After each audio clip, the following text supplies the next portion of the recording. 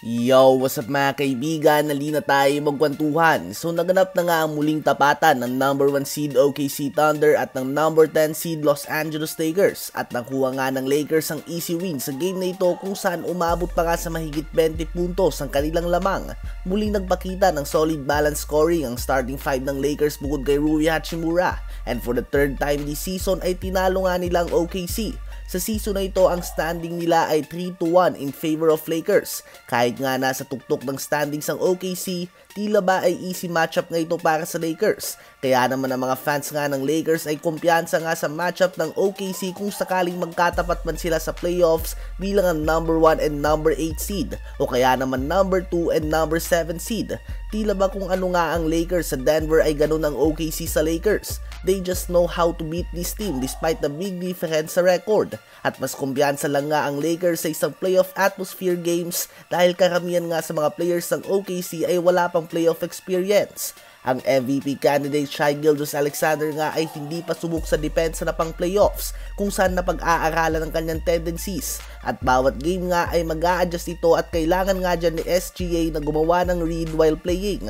Ayon nga sa mga posts sa social media ng ilang Laker fans, parang Memphis Grizzlies lang nga daw ito kapag nagkaharap sa playoffs. Mga teams na magaling at talented ngunit pang regular season lang nga daw at tatagilid pa nga daw ito sa playoffs dahil sa kakulangan ng experience. Kayo ba mga kaibigan, kung sakaling magkaharap ang Lakers at ang OKC sa first round ng playoffs, sa palagay nyo ba ay magagawa ng Lakers ang upset o mapapatunayan na ng OKC na panahon na nila ngayon?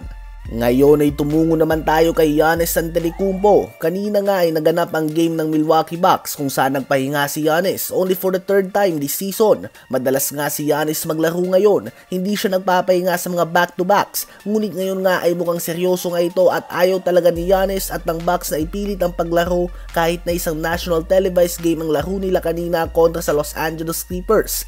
Kahit nga nakataya ang kanilang magandang rhythm at limang magkakasunod na panalo ay hindi sumugal si Giannis Giannis. Ang two-time MVP ay may iniinda na injury sa kanyang Achilles at alam naman nating lahat na hindi nga biro ang injury na ito. Bihira nga yung katulad kay KD na halos hindi nagbagong laro matapos sa magtamo ng Achilles injury.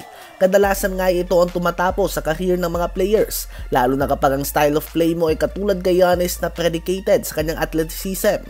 Kanina nga bago mag-umpisa ang game ay sinubukan ni Giannis ito at talagang hindi nga niya malagyan ng pressure ang kanyang Achilles at makikita mo na nasasaktan talaga siya.